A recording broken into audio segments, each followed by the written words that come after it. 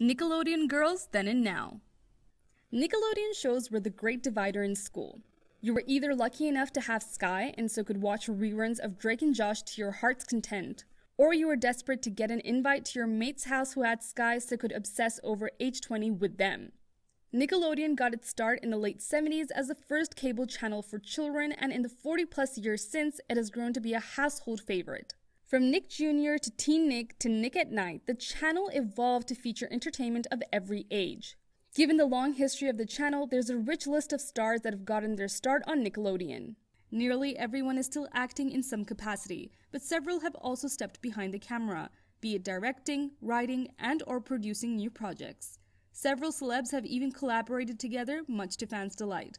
Moreover, our faves have also found other outlets for their creativity, such as YouTube, podcasts, and books. Keep watching to check out how far your Nickelodeon sweethearts have come to growing towards best only. Number 1. Ariana Grande. Pop superstar Ariana Grande got her start on the Nickelodeon comedies Victorious and its spin off Sam and Cat. Ariana Grande starred as Cat Valentine, the most cheerful and optimistic person in her group of friends. 2013 was the year that Victorious ended, and it's also the same time that Grande landed her own spin off called Sam and Cat. The actress co starred on the short lived series with iCarly's Jennette McCurdy. Grande released her first album, Yours Truly, in 2013. Since the singer has put out four albums My Everything, Dangerous Woman, Sweetener, and Thank You Next. Though each one has been critically praised, her most recent album has achieved more success than her past projects. She reigns as the first female artist to have three albums with more than 2 billion streams in Spotify history, with My Everything, Dangerous Woman, and Thank You Next, and was named Spotify's most streamed female artist in 2018. In February 2019, Grande won her first Grammy for Best Pop Vocal Album for Sweetener. Number 2. Janet McCurdy, Samantha Puckett in iCarly. In 2008, Jennette was nominated for a Young Artist Award for her performance in iCarly and the TV movie The Last Day of Summer. She also started working on her debut album in 2009. Her first single, So Close, was released. One year later, Jennette released her EP. In 2013, McCurdy starred with Ariana Grande in the Nickelodeon series Sam and Cat. In 2014, she started a new project, the online show What's Next for Sarah on Vimeo. Since 2015, she's been starring in the Netflix drama series Between. McCurdy signed a development deal in 2016 with digital production company Canvas Media Studios to further use her social media connections with fans. Number 3. Amanda Bynes, The Amanda Show. A breakout star from all that, Amanda Bynes was just 10 years old when she joined the sketch comedy's cast. She quickly got her own program on Nickelodeon, aptly named The Amanda Show. After starring in hit films like Hairspray, Easy A, and She's the Man, Bynes experienced some legal and mental health difficulties, including multiple DUIs and a mandatory psychiatric hold. Fortunately, she had better days since and is currently pursuing a career in fashion, taking classes at Los Angeles' Fashion Institute of Design and Merchandising. She did enroll in fashion school, though. Bynes revealed in a 2017 interview with The Lowdown that she wanted to return to acting. After posting increasingly erratic accusations to Twitter in 2014, Bynes revealed she'd been diagnosed with bipolar disorder. She subsequently sought treatment for substance abuse problems and has been sober now for several years. Number 4. Jamie Lynn Spears. Jamie Spears in All That. In 2002, Jamie made her debut in the drama Crossroads, in which her sister, Britney Spears, also starred. After two seasons of All That, Jamie left the project and came to Zoey 101, where she took a leading role. In 2005, she won a Young Artist Award and a Nickelodeon Kids' Choice Award in the category of Outstanding Young Performer in a TV Series. Following her older sister, Jamie started working on her country music album. In 2011, Spears performed at the Rutledge in Nashville. Jamie released her first single, How Could I Want More, in 2013, and a second single and a second single called Sleepover in 2016. Number 5. Melissa Joan Hart, Sabrina in Sabrina the Teenage Witch. In 1999, Melissa made her directorial debut in an episode of the Disney Channel series So Weird, in which her sister Emily was invited to take part.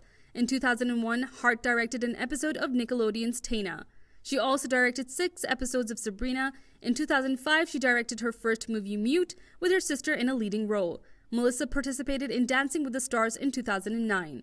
One year later, she started filming Melissa and Joey, and Hart played a leading role in the drama God's Not Dead 2 in 2016. Number 6. Emma Roberts, Addie Singer in Unfabulous. After starring in Unfabulous, Emma released her debut studio album Unfabulous and More in 2005. Emma then starred in plenty of films such as Nancy Drew 2007, Wild Child 2008, The Winning Season 2009, Valentine's Day 2010, Scream 4 2011, We're the Millers 2013, and many others. In 2007, Emma won a ShoWest Award in the Female Star of Tomorrow category and a Young Artist Award in the category of Best Supporting Actress for her performance in Aquamarine 2006. This year, Emma Roberts is going to play leading roles in Billionaire Boys Club and Little Italy. Number 7. Larisa Oleynik, The Secret Life of Alex Mack. Remember The Secret World of Alex Mack, the show about a teen who fell victim to a toxic spill that gave her superpowers, namely the ability to melt and move around the floor in a puddle? It starred 13 year old Larisa Oleynik, whose face has become synonymous with 90s Nickelodeon, after her time at Nickelodeon, Oleynik went on to star as Bianca in the beloved 1999 romantic comedy and Taming of the Shrew adaptation 10 Things I Hate About You, alongside Julia Stiles, Joseph Gordon Levitt, and the late Heath Ledger. She's since appeared on Hawaii Five-O, Law and Order SVU, and more recently you can see her as Mr. Fitz's ex-girlfriend and fake baby mama on Pretty Little Liars. Number 8. Elizabeth Gillies Victorious. Since her time as Jade West ended, she's been the voice of Daphne on Winx Club. She is reportedly working on her own alternative rock album. Right now, she has a YouTube account called Liz Gillies Official, where she has cover songs of popular music like You and I by Lady Gaga and Jealous Guy by John Lennon. In December 2013, she recorded a duet with former Victoria star Ariana Grande for Grande's Christmas EP Christmas Kisses. Number 9. Alyson Hannigan. Alyson Hannigan originated the iconic witch Willow on Buffy the Vampire Slayer. Alyson Hannigan had fairly minor roles before busting out with Buffy. She followed it up with roles in the American Pie movie series and another iconic TV role as Lily on How I Met Your Mother. She's currently the host of Penn and Teller Fool Us. She played Kim Possible's mom in the live action movie and has appeared on shows like Pure and Abducted the Mary Stauffer story. She married recurring Buffy star Alexis Denisof, and the couple have two daughters. Number 10. Claire Holt, Emma in H2O. After leaving H2O two seasons in, Claire Holt has been busy. Most people now know her from her role as Rebecca on The Vampire Diaries and the spin off The Originals. She's done a few films, including the horror movie 47 Meters Down, where she gets trapped with Mandy Moore at the bottom of the ocean after a cage dive gone wrong. Claire got married in 2015 to her longtime boyfriend, but they ended up divorcing a year later. She then got remarried in 2017 to her real estate executive husband, Andrew, and they have one son together. Claire announced earlier this year that she is pregnant with a baby girl.